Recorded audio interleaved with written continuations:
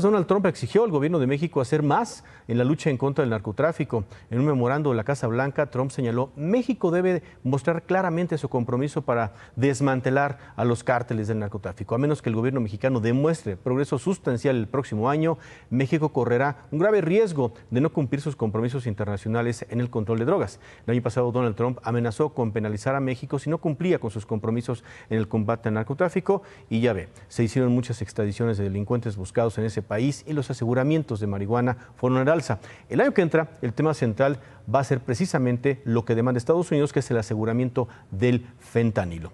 Y aquí en México hay autoridades que piden incluso ejercer mano pues aún más dura en contra de los narcotraficantes. Es el caso de la presidenta municipal de Hermosillo, Célida López, quien al rendir su segundo informe de gobierno hizo esta sugerencia. Al narcotráfico no se le debe enfrentar con las armas. Al narcotráfico, a los narcotraficantes se les debe fusilar en este país, como también sucede en otros países del mundo.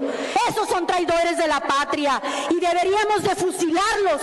Sé que pongo en riesgo mi vida y la de mi familia, pero ¿de qué me sirve ser autoridad si no tengo el valor de decir lo que incluso muchos hombres se callan? Bueno, pues sí, sí, sí lo dijo.